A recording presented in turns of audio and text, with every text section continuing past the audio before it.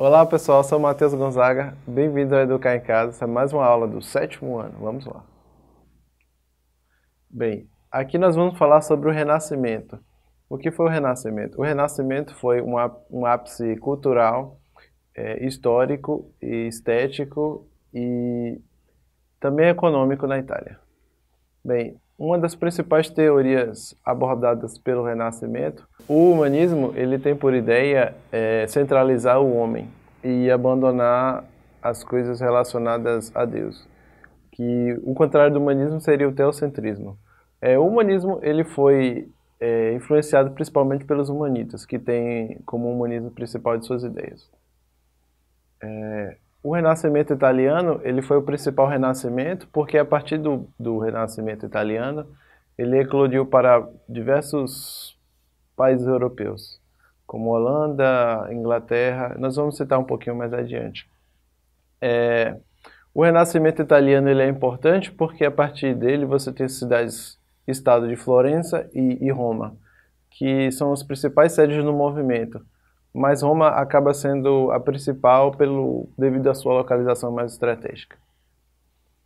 Bem, como eu avisei, é, vinha lembrando a vocês, a expansão do Renascimento é importante e se dá principalmente não só pelas localizações de Roma e Florença, mas pelo fato da Itália, da Itália estar numa região centro, é, destaque na Europa, ou seja, ela é um principal centro de radiação de cultura, de ligação geoestratégica, dali convergendo para a França e para os demais estados europeus, principalmente os situados aos Alpes. Sim, pessoal, dando continuação à nossa sequência, o nosso próximo passo a ser abordado dentro desse roteiro será o Renascimento na ciência.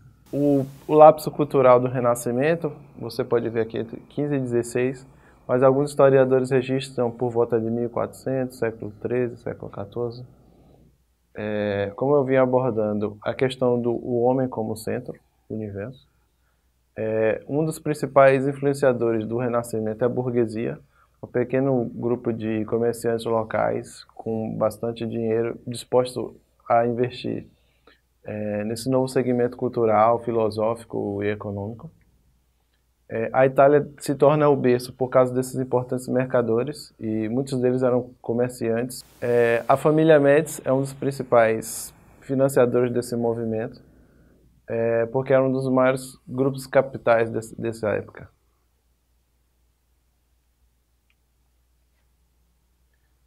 Como eu vinha lembrando antes, Roma passou a ser o principal centro de efervescência cultural devido à sua localização estratégica por ser também um centro de localização da Igreja Católica.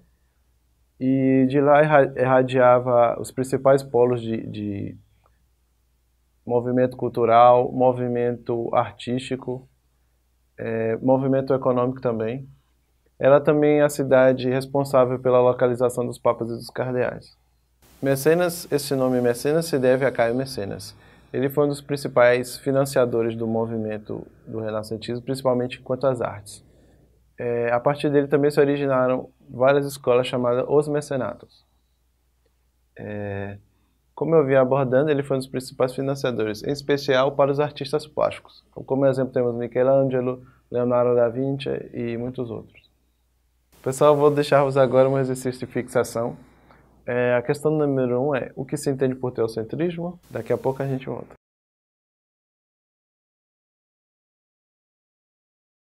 Então, a resposta da 1 um, é a ideia de que Deus é o centro do universo. Resposta 2. Roma. Supremacia. Renascentista. Recursos financeiros. Time is money. Humanismo. Bem, aqui ele fala como humanismo como valorização do homem, ou seja, centraliza o homem é, acima de tudo é, como o foco é, centraliza também a bondade natural do homem é, e sua capacidade de desenvolvimento, de agregar coisas, de gerar novas ideias. Por isso, Leonardo da Vinci se torna um dos principais expositores desse tempo. Agora, em relação à igreja, eles adotam uma postura bem crítica. Para eles, a igreja era algo que atrapalhava o, o processo humano. O apoio ao antropocentrismo. O apoio ao antropocentrismo era a ideia de que o homem era o dono de si mesmo, irradiador de suas próprias ideias e libertário de si mesmo. Ou seja, ele não precisava da, das ideias de Deus, ele podia andar com suas próprias pernas. Um, um dos grandes é, focos desse tempo e que até hoje repercute bastante foi a invenção da imprensa através de Gutenberg. Através de Gutenberg ficou mais fácil se conhecer os, os impressos que puderam ser distribuídos à, à população de forma que as ideias fossem alcançadas em um, um, um lapso de tempo mais curto. Bem, é, o Renascimento italiano, como eu tinha abordado, teve início na Itália, né? É, de acordo com os principais estudiosos, na primeira metade do século XIV, é, ele contribuiu para o enriquecimento das cidades italianas, o desenvolvimento comercial, arquitetônico, cultural, e, e de, qualquer sorte ele influenciou também nas grandes navegações, que depois do grande renascimento, né, nós tivemos um grande navegador chamado Cristóvão Colombo, que ele era genovês. É, bem, nada disso seria possível se é, lá em Bizâncio, a atual Turquia, os bizantinos não, não tivessem um desentendimento entre si e fugissem é, de suas guerras para a Itália. É, através de suas ideias, eles trouxeram grandes contribuições que foram um marco do movimento é, nas artes, na geometria. É, alguns estudiosos atribuem que se não fossem esses árabes, é, a Europa estaria é, na Idade da Escuridão, ou Idade das Trevas. É, os grandes nomes do Renascimento italiano. Dante Alighieri, conhecido pela Divina Comédia. Francesco Petrarca, é, grande humanista do Renascimento, foi um defensor dos diversos manuscritos italianos. É, ele é citado pelo poema épico de África. Giovanni Boccaccio é o escritor que imortalizou com a obra de Cameron. Bem, agora nesse momento vou deixar mais um exercício de fixação. A questão que tratamos aqui é, primeiro, no livro O Príncipe, uma das máximas é: os fins justificam os meios. O que o autor queria dizer?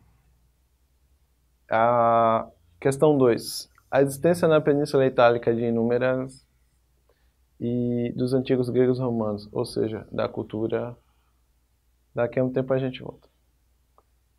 Bem, a resposta número 1 um é queria dizer que o príncipe, ou seja, o governante, devia usar de todos os meios que pudesse para realizar o seu governo e impor a sua autoridade. É, a existência na Península Itálica de inúmeras obras e monumentos, seja gregos e romanos, ou seja, da cultura clássica. Salientando que o, o criador dessa obra é um dos grandes escritos das ciências humanas. É, Niccolo Machiavelli, que é, é chamado Nicolau Maquiavel. É, a expansão do Renascimento, como eu havia citado anteriormente, lá no início do roteiro, é, é, o Renascimento foi um divisor de águas na, na Europa, porque a partir dele é, alcançou diversos outros países europeus, Países Baixos, inclusive, e aqui nós temos como principal exemplar Jan van Eyck, com, com sua obra O Casal Amor, Amorfine. É, na Alemanha, destaca-se Albert Dürer, grande pintor que teve por influência representar a realidade mais concreto possível. Na França, através da literatura, nós temos o grande escritor Rabelais, com sua obra Gargantura, e Montaigne, com seu livro O Ensaio. Bem, na Inglaterra, é, estava vigente at através da dinastia dos Tudors, foi uma das principais é, incentivadoras do Renascimento. Mas, até esse momento, não se tinha a notícia de artistas de peso. Mas o grande destaque foi um dos maiores dramaturgos da literatura mundial, conhecido como William Shakespeare. Conhecido, aqui ele cita Romeu e Julieta, mas tem diversas obras de peso, como Hamlet, que é uma das mais conhecidas também. Na Península Ibérica, é, o que deu origem à nossa língua portuguesa, o lugar geográfico, né, no caso, é, o Renascimento coincidiu com a expansão comercial ultramarina. Como eu havia citado, coincidiu com a influência de, de, de Cristóvão Colombo através da Espanha e cá com Vasco da Gama e Dom Pedro Álvares Cabral. E, só que na Espanha tem como grande nome da literatura Miguel de Cervantes e com Dom Quixote de la Mancha. E em Portugal nós temos Camões. Bem, o Renascimento ele também tem um lado bem importante nas ciências, porque através dele foram desenvolvidas diversas pesquisas no campo das ciências filosóficas, na medicina, em geometria e diversas outras. Bem, o renascimento nas ciências ele é importante por diversos nomes de peso. Aqui nós temos Roger Bacon, com seus diversos tratados de humanista e filósofo. É, Nicolau Copérnico, por começar a abordar a teoria sobre o Sol. Kepler, por desenvolver a teoria gravitacional dos planetas em torno do Sol, Galileu Galilei por confirmar o heliocentrismo e, em função disso, ser excomungado pela Igreja, Isaac Newton, conhecido como um dos principais físicos mundiais, é, foi o grande descobridor da teoria da gravidade e também da teoria da lei da, da ação e da reação. Bem, agora vamos a mais um exercício de fixação. A questão número 1 um diz: O elogio da loucura é obra de um dos mais importantes pensadores renascentistas dos. A questão número 2 fala a respeito de dois cientistas do Renascimento e comente as suas obras. Ok, vamos lá às respostas. O elogio da loucura é a obra de Erasmo de Rotterdam. É, a segunda resposta seria Países Baixos, atual Holanda. É, a outra se refere a Nicolau Copérnico, que tem a teoria do Sol como sistema solar. É Galileu Galilei, que confirma o heliocentrismo e aperfeiçoa a luneta astronômica. O que seria um dos principais é, bases da astronomia atual. Conclusão. Bem, é, como nós vimos, o Renascimento ele tratou do humanismo, é, falou do renascimento italiano em suas diversas bases, principalmente nas cidades-estado de Florença e, e Roma. É, tratamos também da expansão do renascimento, que se irradiou pela Itália e da Itália para as diversas nações europeias. E também uma questão muito importante que foi o renascimento nas ciências.